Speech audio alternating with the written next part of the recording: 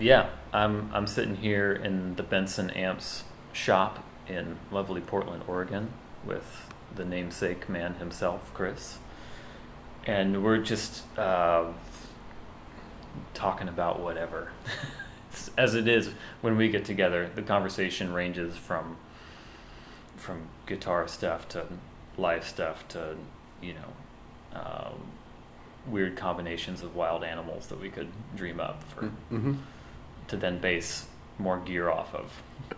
Maybe the best thing, I think, like the best thing about our relationship over the years is maybe two or three times a year we'll have a super intense late night text session where we're just spitballing, uh, really coming up with the name of a piece of gear first and then deciding what it is based on based on that. We still haven't made the Cerberus. Yeah, yeah. Cerberus? Cerberus, yeah. We shouldn't give too much away about that, though. No. That's some proprietary stuff. Oh, for sure. Yeah. World's changing. It's, it's, gonna- it's definitely going to be different.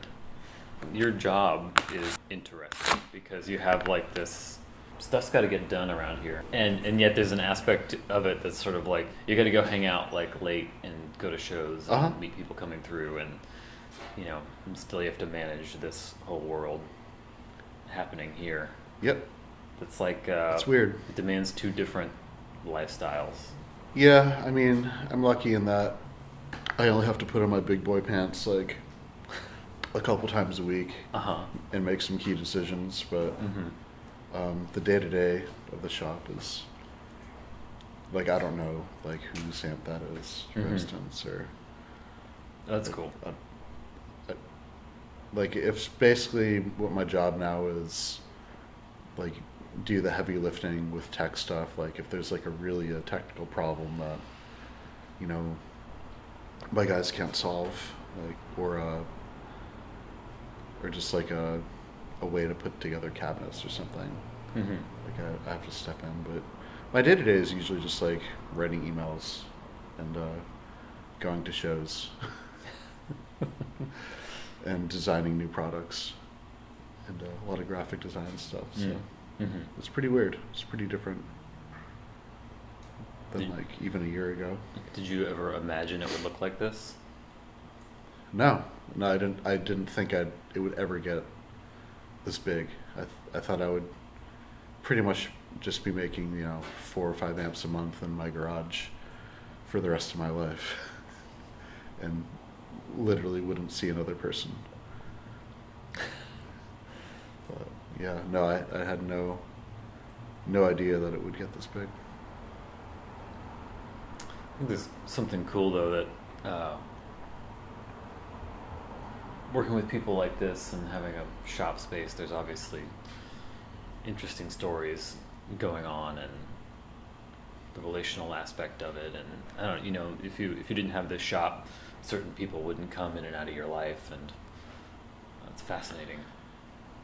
Yeah, I mean the the weirdest thing for me with that is, you know, I've never wanted to be a boss, like in charge of people, Right. Like ever. Like I'm I'm kind of an anarchist, in, in a lot of ways. I, just, I think it's funny when people are defiant.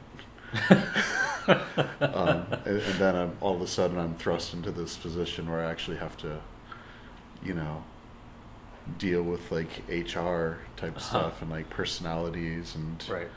realize that there's like a weird, there could be a weird power dynamic, but still, I guess, try to be cool. I don't know. How do, how do you deal with that?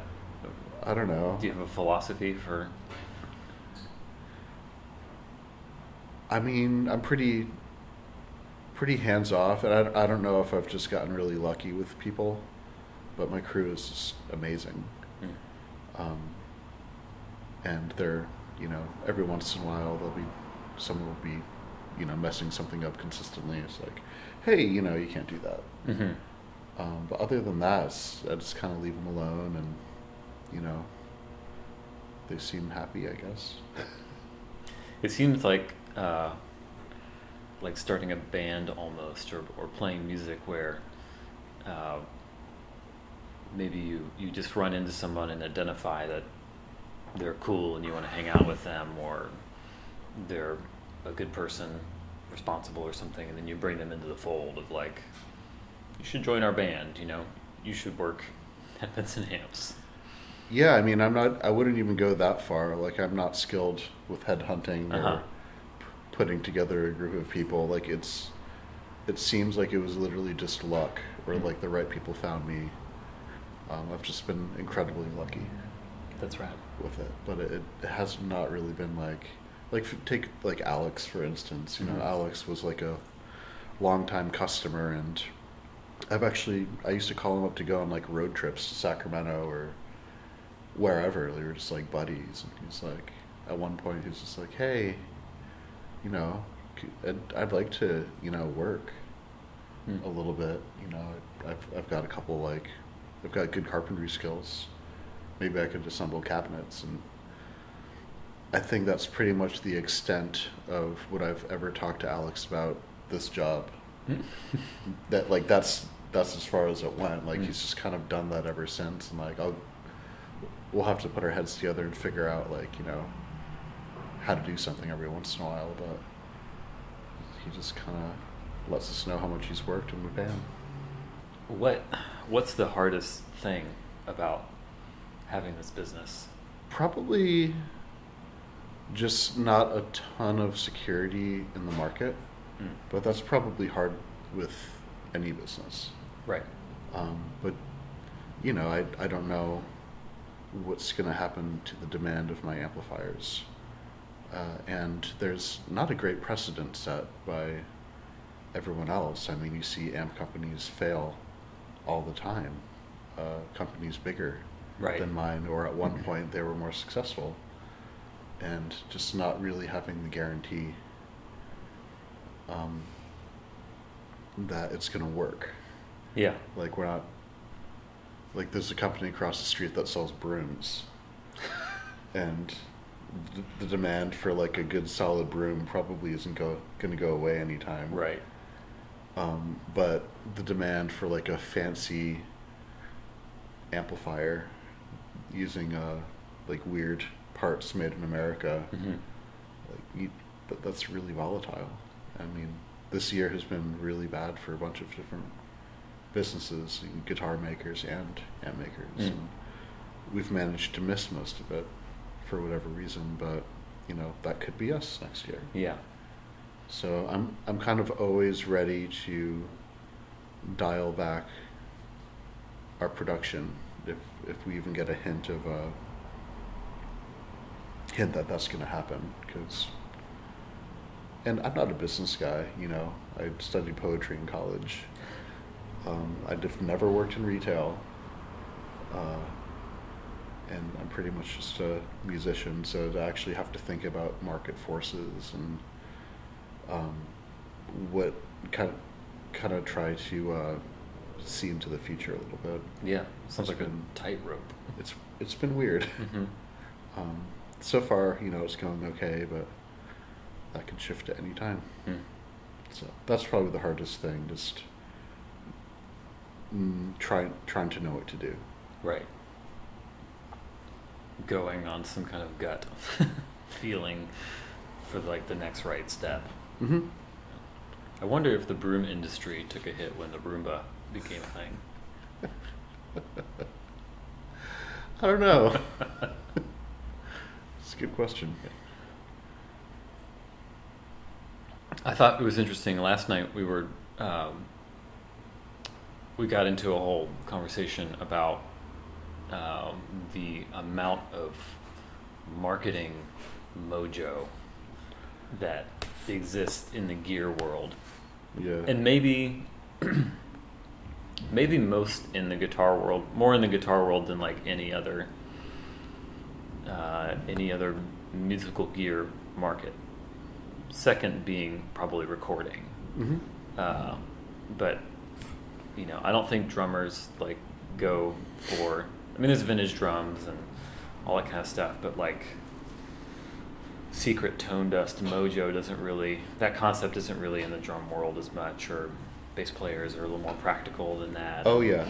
Yeah. Uh, but in the guitar world, there's this just insane uh, fixation with gear and who played what and guitar players are more like cats anyways too you know they're kind of standoffish and you know uh, may want to be petted may not want to be petted and uh, you're you're not uh, very secretive or you're you're not necessarily cultivating a mystique Mm-mm. about what you do No. which I think is honorable. I, I believe in in the sharing of information. Um, that only um, that only helps and increases community. Um, is that is that like a conscious decision for you, or uh, and what do you and what do you think about stuff that comes along that is like coveted tone, uh, fairy dust, magic goop? I mean, at the end of the day, with that stuff, I mean, it's the same reason I don't tell lies. Uh huh. Um, not not that it wouldn't necessarily, well, other than the whole moral thing. that yeah. Um, it's just easier to tell the truth and be honest Mm. about what something is and what it does, and you know, if, if I had to keep like a bunch of bullshit about capacitors that I've told people over the years that may or may not be true Mm. or have any grounding in facts in my head, like that would be that would suck. Right. And I would just I don't know. Like I basically I just believe in being straightforward and telling the truth. I mean there is there are things that have mojo, though like there are capacitors that sound really good. Mhm. And that's what I use. But in terms of just like I, I feel like that mystique comes at the expense of like like there's an expense to it, Mhm. I guess. Have you ever played a Dumble? no, I haven't. so I you know I don't really know. Right. Right. Um, but you know, I've seen Dumble's circuits and seen the clones and whatnot, and they're it's cool. Um, it's not my thing, but I think uh, the important thing about Dumble is just kind of a case study in cultivating that kind of mystique and like what is this like weird psychological attraction guitar guitarists feel to uh, going after this thing that's you know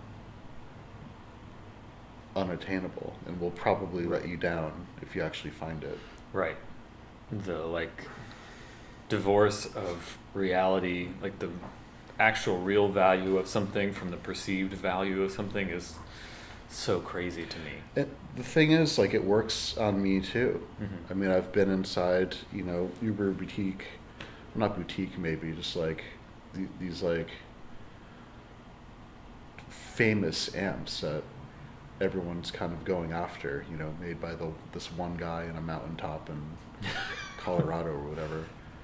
Um, and there's usually nothing special to them. Hmm. Like a, a lot of times, I'll look into it like, oh man, you know, these are really highly regarded, and then I take it apart, hoping that I'm gonna you know, learn something because Hmm. that's how you learn how to make amps. Hmm. That's how you learn about circuitry. You just kind of see what works, and then I get to the end of it, I'm like, ah, I didn't learn a, I didn't learn a thing.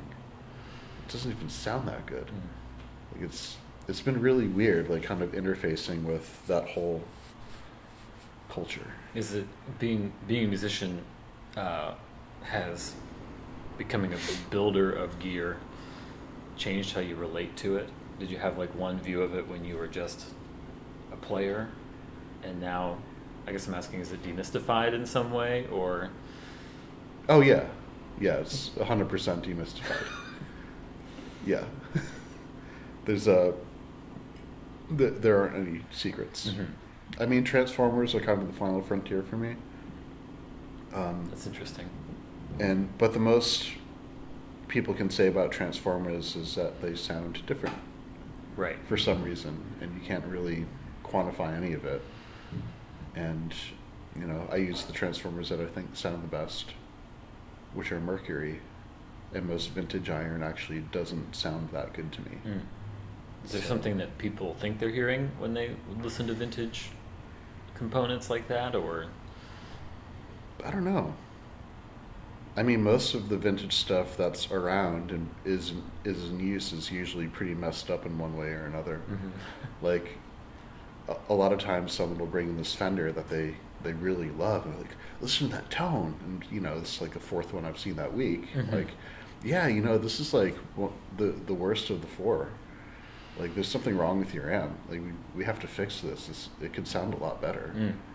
but and the, and they don't even know because what they're they, they're kind of hearing with their eyes and they're hearing what they want right, to hear. Right.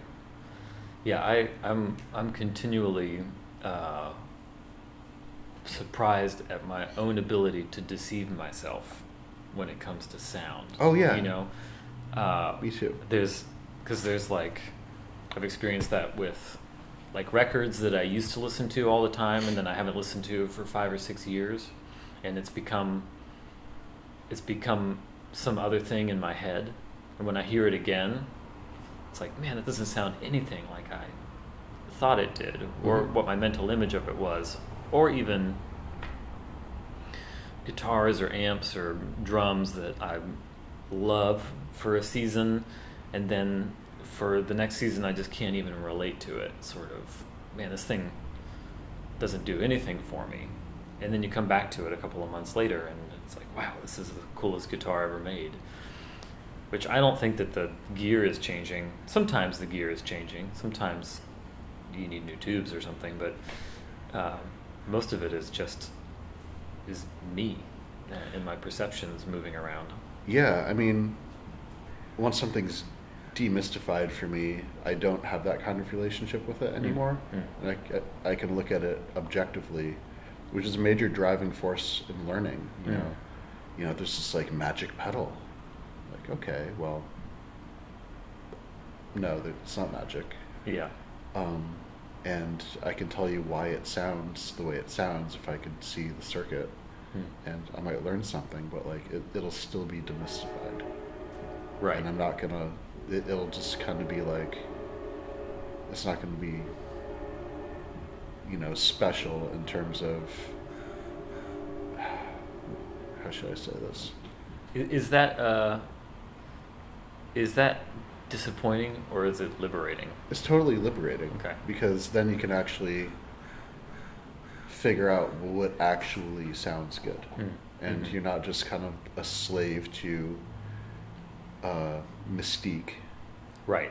um, and what gurus will tell you and what, you know, you, you, you can basically just kind of start thinking and hearing for yourself which That's is cool. really nice. It's also the really nice thing about like designing a new product because you're not trying to necessarily make it sound like anything. You're trying to get something that sounds good. Um, so, yeah, does that make sense? Absolutely. Yeah. Who's your favorite guitar player?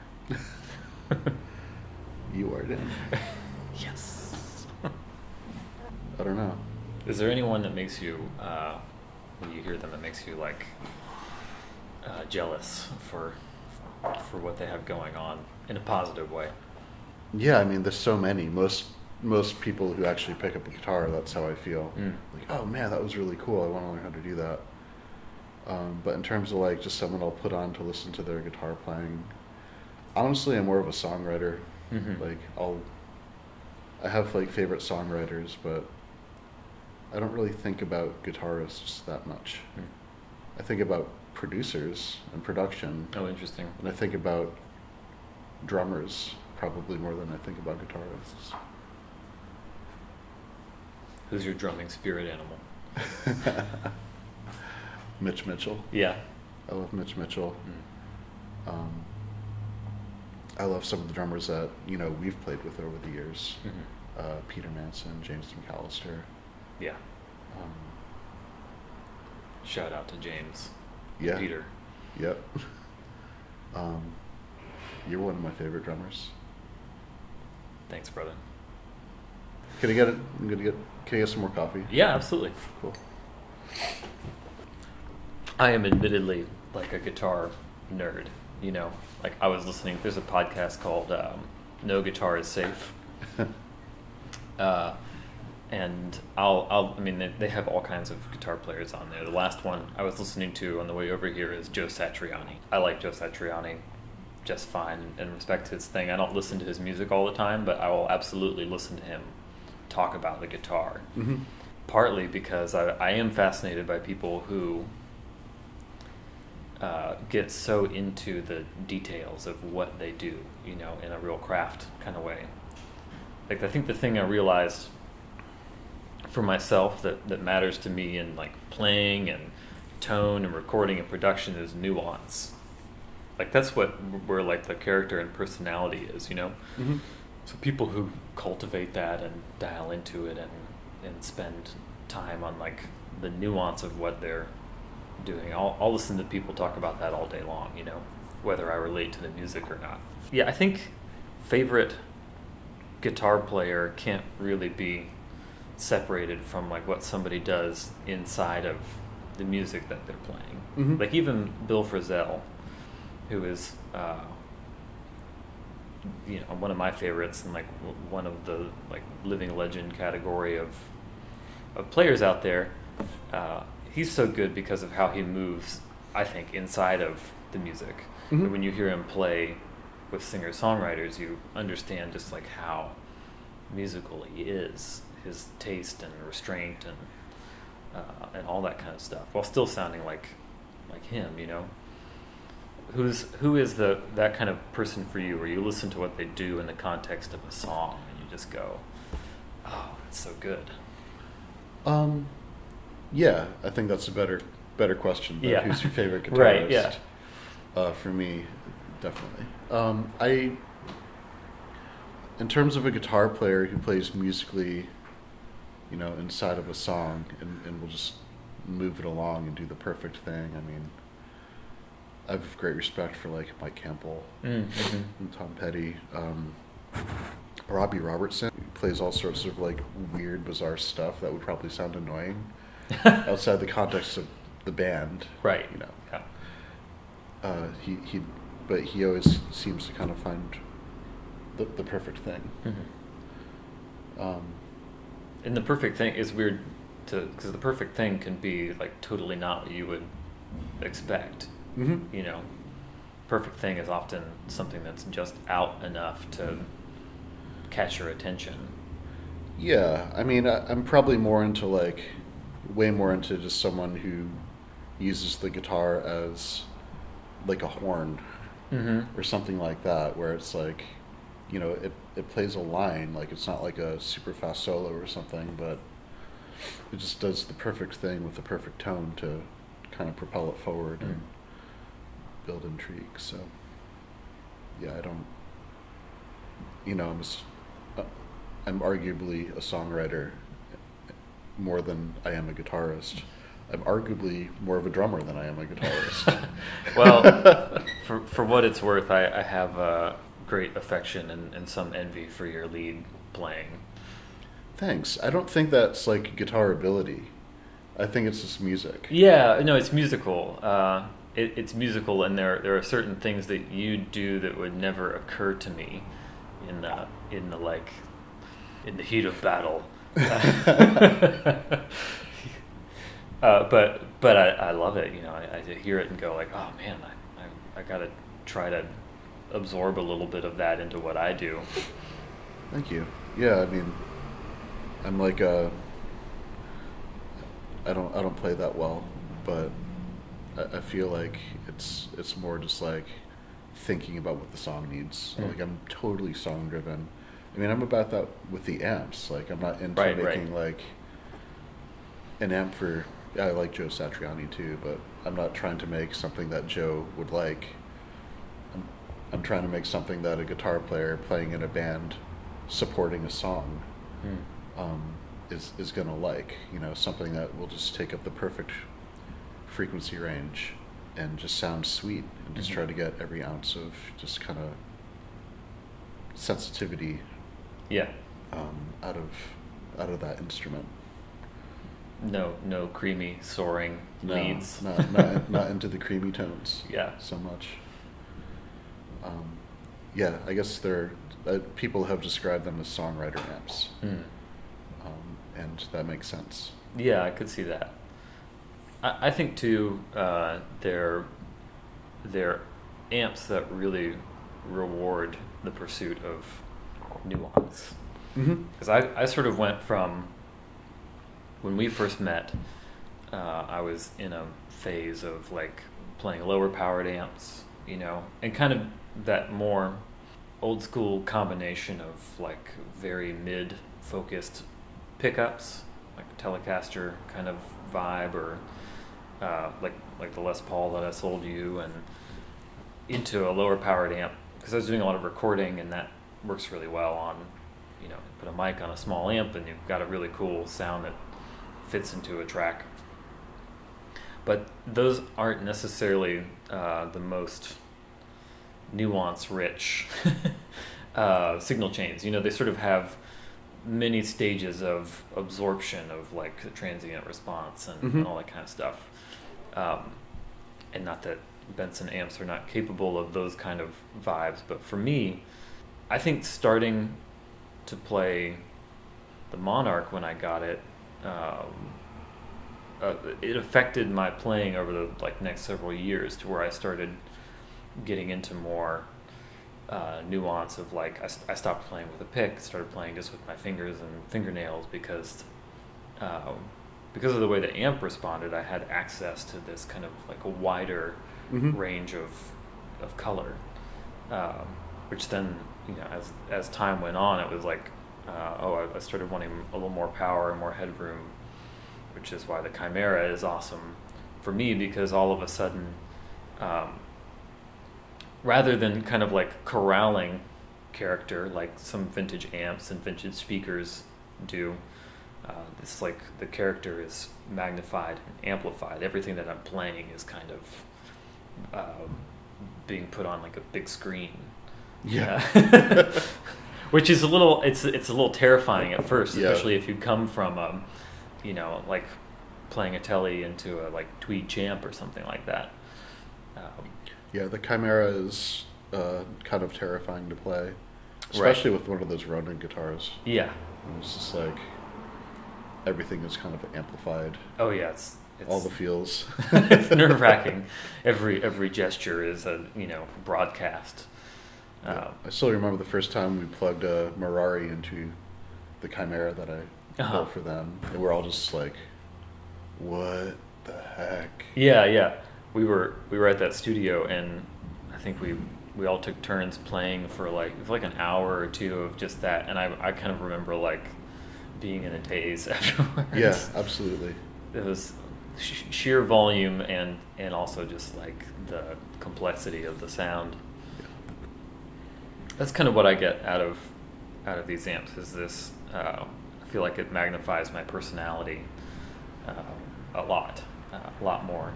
Sometimes it's it's fun to plug into something else that's just like brown and round and Sure. and squishy, but Yeah, I've got a I've got a stable of the of the of those. Yeah, Yeah. absolutely.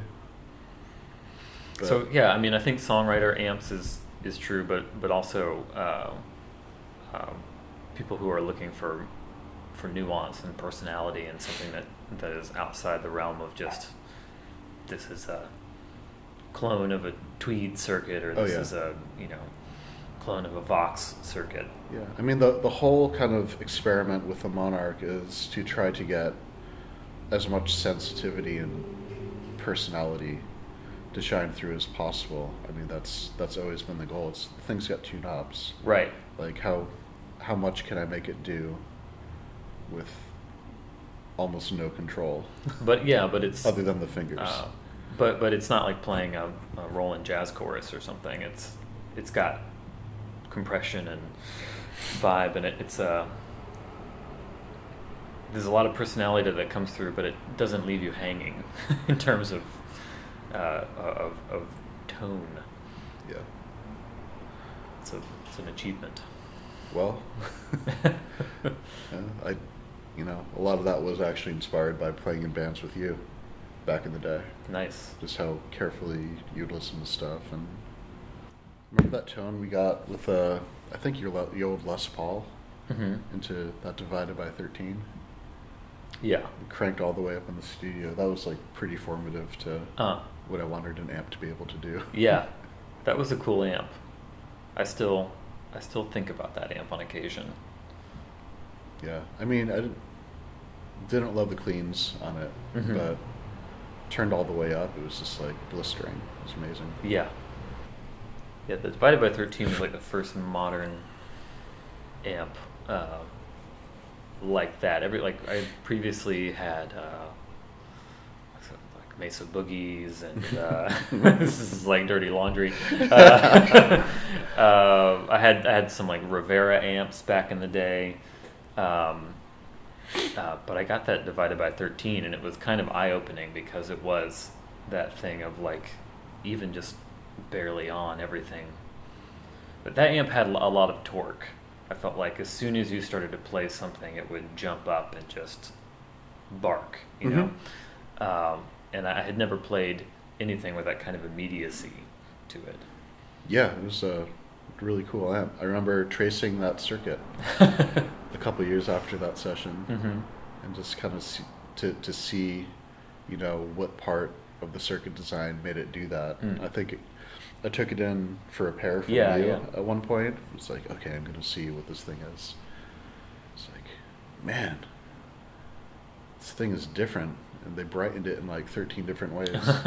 it's just like a the amp equivalent of like a treble booster, Right. uh, which is why it sounds so good when you dime it Hmm. the basic shape of the Monarch, you know, the head and cabinet, the mini stack was definitely inspired by that that amp. Mm. I don't think I knew, by I knew how much of an impact that had. Oh yeah, Hmm.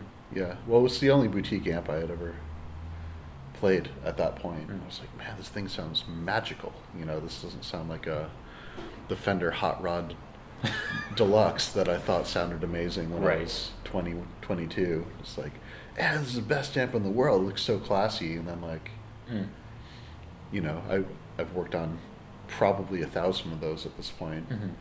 and they all have the same problems with this, you know, computer green, you know, circuit board on the inside. Uh-huh. That's been very dem- demystified for me. The mass production amps. Um, yeah, yeah. I mean, there's I have my favorites for sure. Like I, I actually still think the Hot Rod Deluxe is a great amp in some Mm. ways. Um, I like the Pro Junior. Pro Those are Junior's cool. great. I, I can't play Blues Juniors at all. Mm-hmm. I like the modern Supros actually sound pretty good. I like them. Yeah, there's there's good stuff that's that's being made and mass produced for sure. It's like a golden age of guitar gear right now. It's kind of overwhelming. Mhm. I mean, it's like which of the 20 manufacturers who are making Tone Bender clones do you choose from, you know? Uh, I just I would just make my own. yeah, you would. You would. This conversation has taken its course, you know? So, uh, Yeah, we're just kind of rambling now. Yeah, yeah, which is, you know, I listen to people ramble all the time. That's like what our current podcast age is Yeah. all about. And on that note, thanks for joining me. Yeah.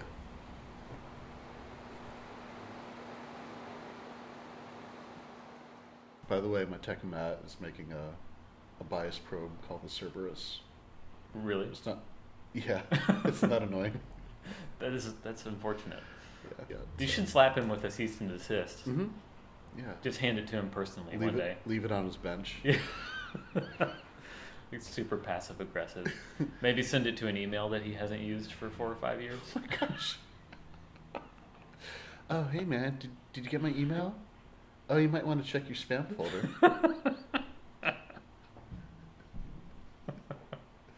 Anyways, Classy. have a great night. Yeah. Passive aggressive bossing. This is a new web series. People can find that stuff all over the place, but just to have chats, you know, Heart to heart. heart to heart, Tone chats. tone chats. yeah, That'd be a funny name for a series. there you go, tone chats. T- Tone chats with Dan Phelps and Chris Benson.